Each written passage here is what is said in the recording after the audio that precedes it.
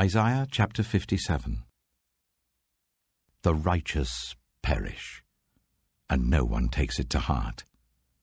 The devout are taken away, and no one understands that the righteous are taken away to be spared from evil.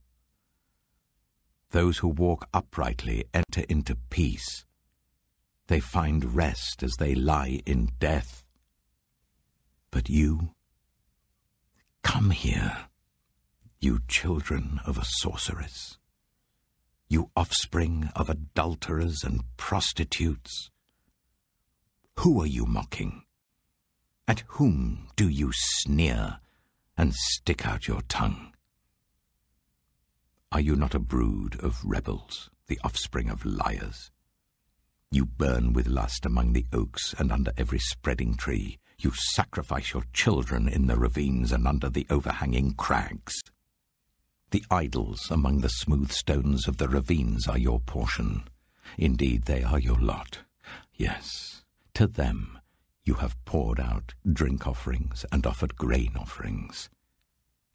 In view of all this, should I relent? You have made your bed on a high and lofty hill. There you went up to offer your sacrifices. Behind your doors and your doorposts you have put your pagan symbols.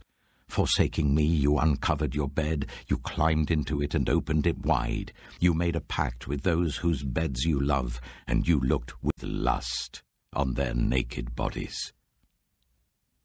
You went to Molech with olive oil and increased your perfumes. You sent your ambassadors far away. You descended to the very realm of the dead.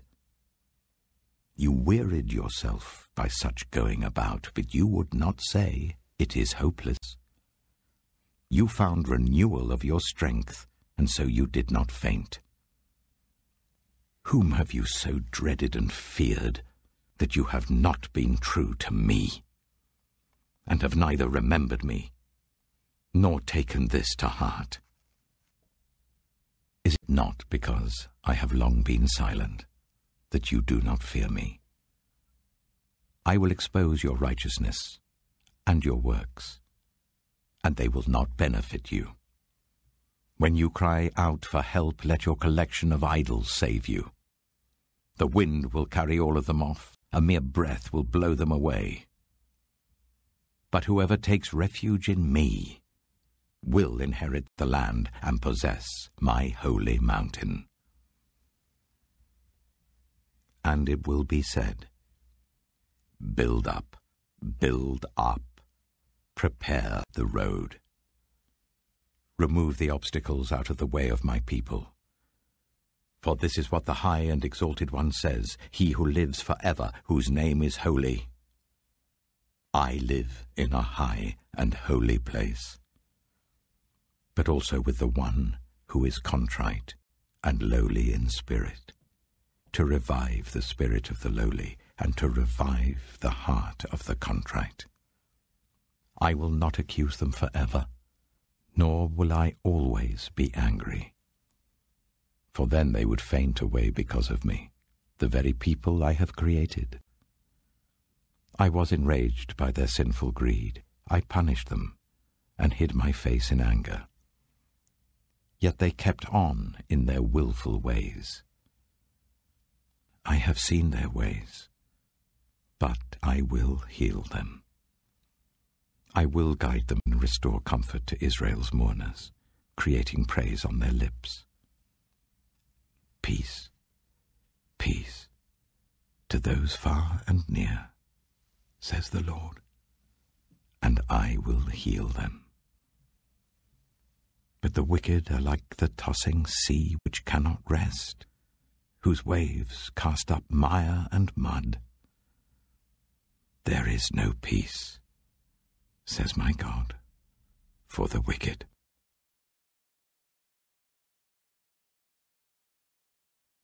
Isaiah chapter 58 Shout it aloud. Do not hold back. Raise your voice like a trumpet. Declare to my people their rebellion, and to the descendants of Jacob their sins. For day after day they seek me out. They seem eager to know my ways as if they were a nation that does what is right and has not forsaken the commands of its God. They ask me for just decisions and seem eager for God to come near them. Why have we fasted, they say, and you have not seen it? Why have we humbled ourselves, and you have not noticed? Yet on the day of your fasting, you do as you please, and exploit all your workers. Your fasting ends in quarrelling and strife, and in striking each other with wicked fists. You cannot fast as you do today, and expect your voice to be heard on high. Is this the kind of fast I have chosen? Only a day for people to humble themselves? Is it only for bowing one's head like a reed and for lying in sackcloth and ashes? Is that what you call a fast? A day acceptable to the Lord? Is not this the kind of fasting I have chosen? To loose the chains of injustice and untie the cords of the yoke, to set the oppressed free and break every yoke. Is it not to share your food with the hungry and to provide the poor wanderer with shelter? When you see the naked, to clothe them, and not to turn away from your own flesh and blood. Then your light will break forth like the dawn, and your healing will quickly appear. Then your righteousness will go before you, and the glory of the Lord will be your rearguard. Then you will call, and the Lord will answer. You will cry for help, and he will say, Here am I. If you do away with the yoke of oppression, with the pointing finger and malicious talk, and if you spend yourselves on behalf of the hungry and satisfy the needs of the oppressed, then your light will rise in the darkness, and your night will become like the noonday. The Lord will guide you always he will satisfy your needs in a sun-scorched land and will strengthen your frame. You will be like a well-watered garden, like a spring whose waters never fail. Your people will rebuild the ancient ruins and will raise up the age-old foundations. You will be called repairer of broken walls, restorer of streets with dwellings.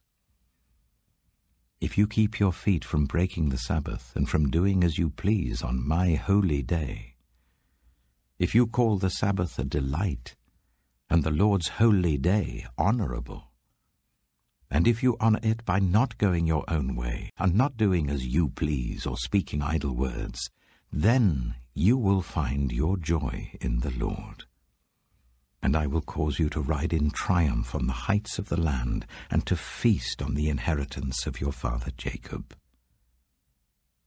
For the mouth of the Lord has spoken.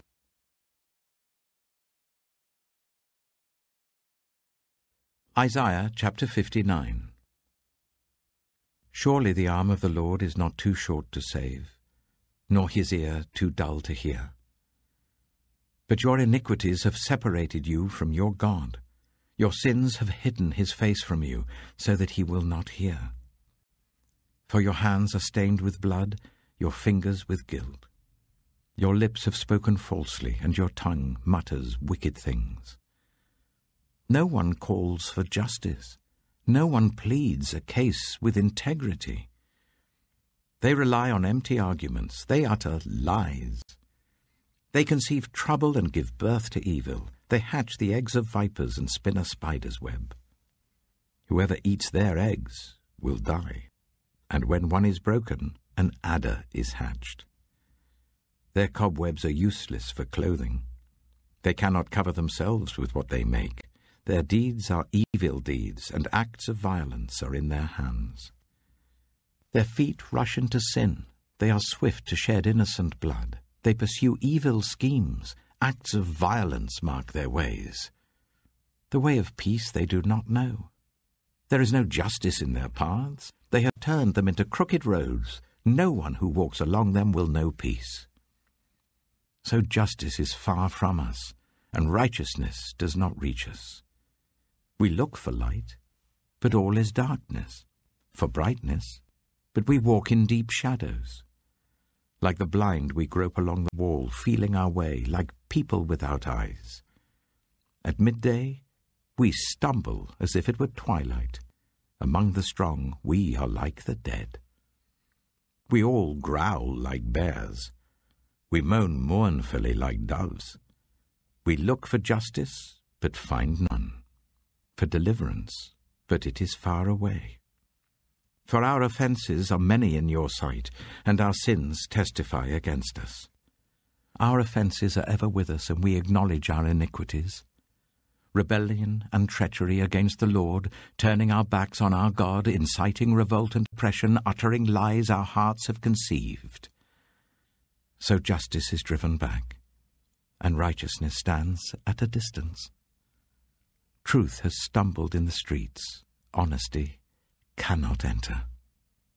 Truth is nowhere to be found, and whoever shuns evil becomes a prey. The Lord looked and was displeased that there was no justice. He saw that there was no one. He was appalled that there was no one to intervene. So his own arm achieved salvation for him, and his own righteousness sustained him. He put on righteousness as his breastplate, and the helmet of salvation on his head. He put on the garments of vengeance and wrapped himself in zeal as in a cloak. According to what they have done, so will he repay wrath to his enemies and retribution to his foes. He will repay the islands their due. From the west, people will fear the name of the Lord, and from the rising of the sun, they will revere his glory for he will come like a pent-up flood that the breath of the Lord drives along. The Redeemer will come to Zion, to those in Jacob who repent of their sins, declares the Lord. As for me, this is my covenant with them, says the Lord. My Spirit, who is on you, will not depart from you, and my words that I have put in your mouth will always be on your lips, on the lips of your children and on the lips of their descendants, from this time on and forever, says the Lord.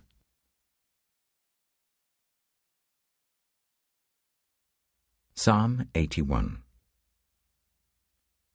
Sing for joy to God our strength. Shout aloud to the God of Jacob. Begin the music, strike the tambourine, play the melodious harp and lyre.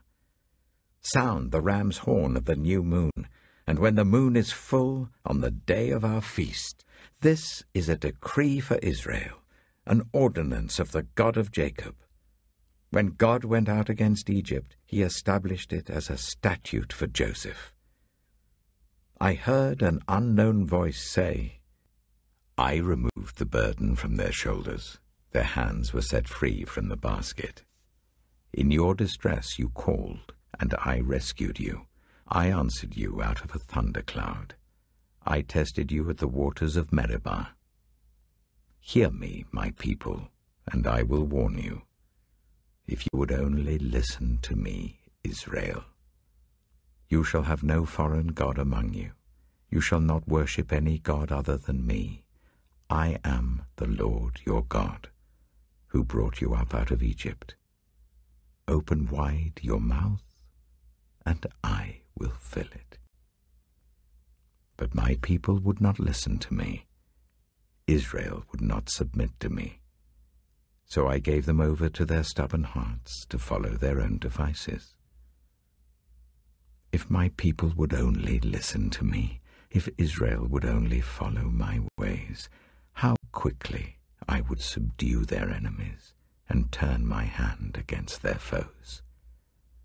Those who hate the Lord would cringe before him, and their punishment would last forever. But you would be fed with the finest of wheat. With honey from the rock, I would satisfy you.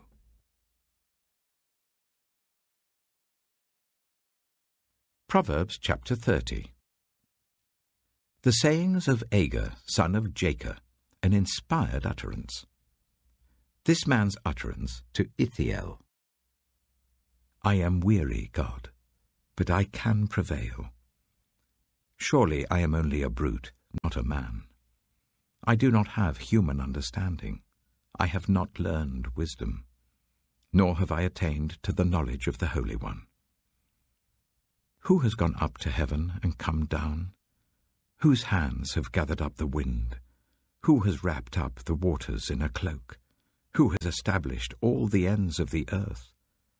What is his name? And what is the name of his son? Surely you know. Every word of God is flawless. He is a shield to those who take refuge in him. Do not add to his words, or he will rebuke you and prove you a liar. Two things I ask of you, Lord. Do not refuse me before I die. Keep falsehood and lies far from me. Give me neither poverty nor riches, but give me only my daily bread. Otherwise I may have too much and disown you and say, Who is the Lord? Or I may become poor and steal and so dishonor the name of my God. Do not slander a servant to their master, or they will curse you, and you will pay for it. There are those who curse their fathers and do not bless their mothers, those who are pure in their own eyes and yet are not cleansed of their filth, those whose eyes are ever so haughty, whose glances are so disdainful, those whose teeth are swords and whose jaws are set with knives to devour the poor from the earth and the needy from among the human race. The leech has two daughters. Give, give, they cry. There are three things that are never satisfied, four that never say enough. The grave, the barren womb, land, which is never satisfied with water, and fire, which never says enough. The eye that mocks a father, that scorns an aged mother, will be pecked out by the ravens of the valley, will be eaten by the vultures. There are three things that are too amazing for me, four that I do not understand. The way of an eagle in the sky, the way of a snake on a rock, the way of a ship on the high seas, and the way of a man with a young woman. This is the way of an adulterous woman. She eats and wipes her mouth and says, I've done nothing wrong. Under three things the earth trembles, under four it cannot bear up a servant who becomes king, a godless fool who gets plenty to eat, a contemptible woman who gets married, and a servant who displaces her mistress. Four things on earth are small, yet they are extremely wise. Ants are creatures of little strength, yet they store up their food in the summer. Hyraxes are creatures of little power, yet they make their home in the crags. Locusts have no king, yet they advance together in ranks. A lizard can be caught with the hand, yet it is found in kings' palaces. There are three things that are stately in their stride, four that move with stately bearing. A lion, mighty among beasts, who retreats before nothing, a strutting cock, a he-goat, and a king, secure against revolt. If you play the fool and exalt yourself, or if you plan evil, clap your hand over your mouth. For as churning cream produces butter, and as twisting the nose produces blood, so stirring up anger produces strife.